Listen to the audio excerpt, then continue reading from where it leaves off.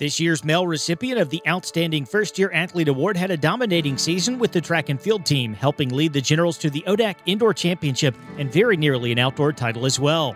During the indoor campaign, he accounted for 17.5 of the team's 146.5 total points in helping the Generals to the league championship in Salem.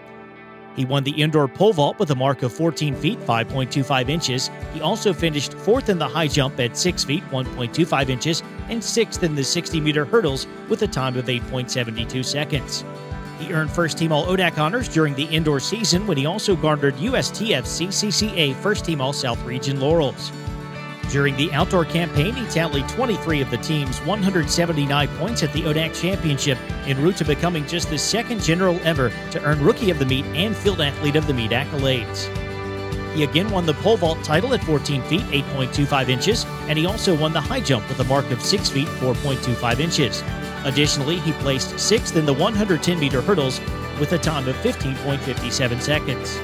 He earned first team All ODAC citations in both the outdoor pole vault and high jump, he was named the ODAC Field Athlete of the Week four times and the Track Athlete of the Week once across both the indoor and outdoor seasons.